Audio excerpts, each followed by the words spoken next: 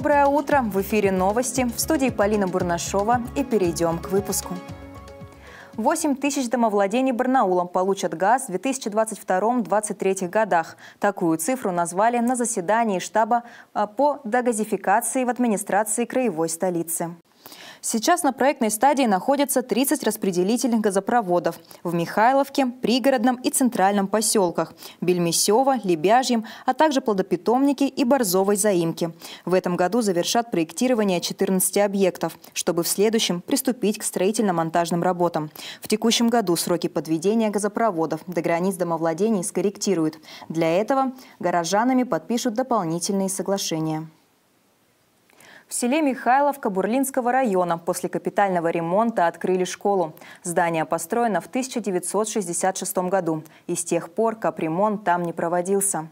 Работы начались с 28 апреля. На это время школьники учились в других зданиях. В школе обновили кабинеты, мебель и оборудование, а также открыли класс центра точки роста. Установлены пластиковые окна и двери, заменены системы отопления и канализации. Работы провели по региональному проекту модернизации общеобразовательных организаций.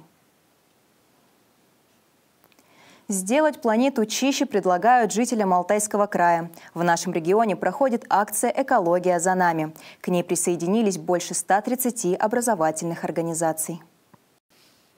Экология за нами. В этом уверен студент из Новоалтайска и автор одноименного проекта Даниил Егоров. По его инициативе дети и подростки в образовательных организациях собирают специальные контейнеры, макулатуру, батарейки и пластиковые крышечки. Он помогает вывести и сортировать вторсырьем.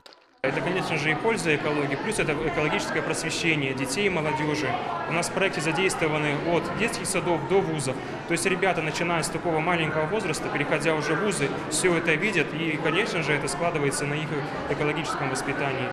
121-й Барнаульский лицей в прошлом году стал лидером по количеству собранного вторсырья. Школьники и учителя сдали больше тонны макулатуры и 40 килограммов пластиковых крышечек.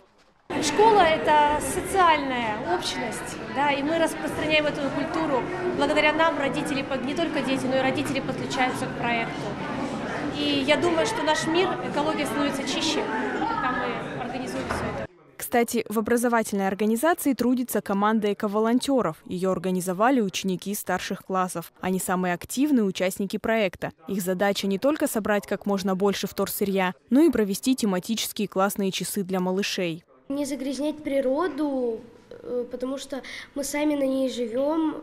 Природа – это нам тоже мама, она нам дает плоды, все, еду, все. И еще из пластика можно делать разные вещи, э, кепки, футболки, бутылки, из которых мы покупаем, пьем воду. В этом году число участников проекта увеличилось в три раза. Он вышел на краевой уровень. Теперь вторсырье будут собирать дети и подростки из Бийска, Рубцовска и Новоалтайска. Дарья Кончина, Сергей Седых. Новости. Новогодние праздничные площадки откроют в каждом районе Барнаула. О планах украшения города рассказали в администрации краевой столицы. Новогоднюю ель установят на улицах Малотобольской, Титова, площади Мира и в парке Алексея Смертина. По всему городу построят ледяные фигуры и, свето и световые конструкции, а также развесят гирлянды. Закончить новогоднее оформление Барнаула планируют к середине декабря. А у меня на этом все. В студии была Полина Бурнашова. Хорошего вам дня!